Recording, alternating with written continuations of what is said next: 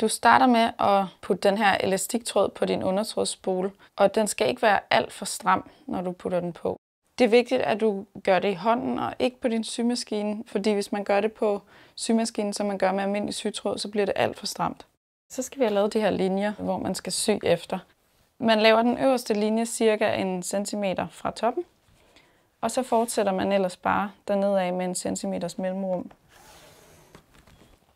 Det er vigtigt, at du laver de her streger på retsiden af stoffet, fordi det er her, du skal sy med din almindelige sytråd, og så kommer elastiktråden på vrangsiden. Hvis du har en, en topbetjent symaskine som den her, så er det vigtigt, at du ikke tager undertråden hele vejen rundt hertil. Du holder den bare her, og så tager du nålen ned for at få undertråden op. Hvis du har en almindelig øh, symaskine, hvor at spolehuset er nedenunder, så øh, tager du bare undertråden op, som du plejer.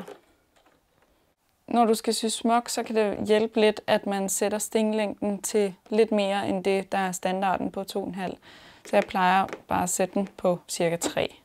Når du syr smok, er det vigtigt, at man ikke syr frem og tilbage øh, i starten for at hæfte tråden. Der skal man bare begynde at sy.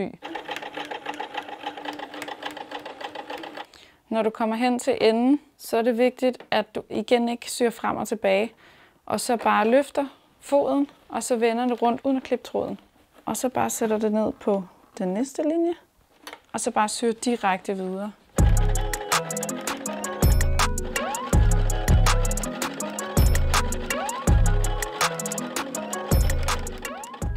Hvis du ikke synes, at de bliver øh, tætte nok, når du har syet alle linjerne her, så kan du øh, bruge et lille tip med strygejernet, hvor du bare holder det henover, og så damper du.